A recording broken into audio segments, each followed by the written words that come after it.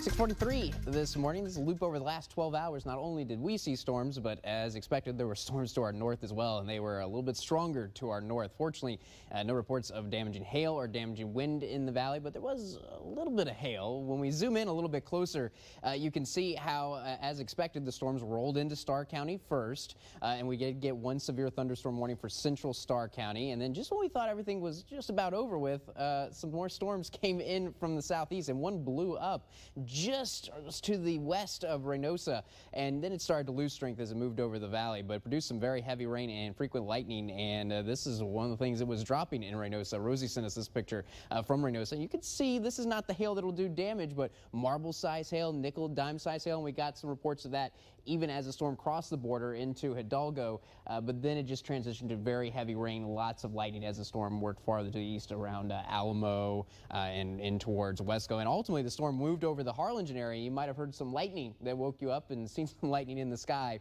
But that's all come to an end now. The rain is all offshore. The cold front is offshore. And drier air is already moving in here. The clouds are already in the process of breaking up. And I do think that uh, many of us are going to be starting out with partly cloudy skies, a little bit cloudier towards the coast. And we'll be seeing already, I think, some decent sun in the upper valley. And tell you what, by about 1 o'clock this afternoon, I think it's just going to be blue skies for everyone.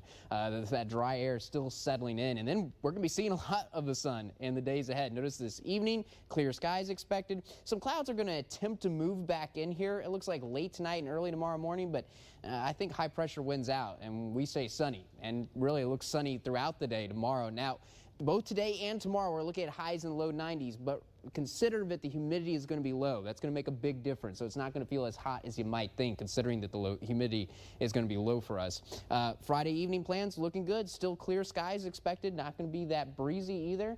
Uh, so things are looking pretty good. And even into the weekend, not too bad. 92 today. Technically, yes, we're warmer today, even though a cold front's come through but the humidity is going to be a lot lower, so probably going to feel about the same as yesterday. We had upper 80s and high humidity yesterday. Today, low 90s and low humidity, so it'll be about the same. Skies will become sunny for the afternoon. Winds are not going to be very strong, unlike yesterday afternoon. Uh, we're only going to see winds around 5 to 10 miles per hour this afternoon. 62 for our low tonight. Again, with low humidity, clear skies, we'll be cooling down, and it'll be cool uh, to start the day tomorrow morning, but guess what? We're going to be warming right back up. Looking ahead to the weekend, sunny skies expect on Saturday. Maybe a few wispy cirrus clouds around, but uh, not any significant cloud cover. Now, the humidity's still comfortable for Saturday, but by the time we get to Sunday, it's not going to be terrible humidity, but I think it'll be the kind of humidity that you start to notice again. Still looking like a mostly sunny day. It's going to be breezy again on Sunday. Highs around 91. I tell you what, though, by the time we get to next Tuesday, the humidity is going to be back in full force. Notice we start at 75 and then wind up in the mid 90s. Yeah, that's going to be feeling a little bit summer-like. But until then, not too bad. Uh, but this entire seven-day forecast is looking dry for you. Well, more news right after this break.